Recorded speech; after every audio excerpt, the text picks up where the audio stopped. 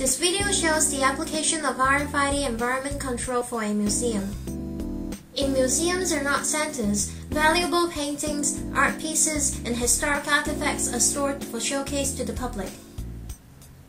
These exhibits require delicate care and well-controlled environment to ensure good preservation.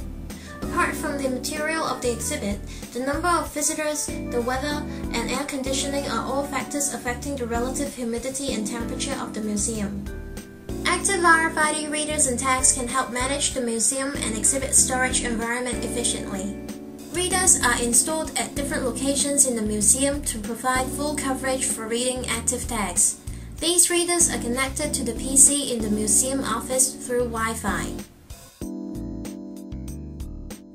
Moist tags, which are active RFID tags with digital humidity sensors, are attached near or inside the showcase of the exhibits.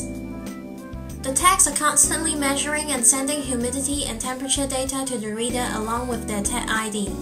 Once the readers receive data from tags, they will send the data to the computer for centralized processing.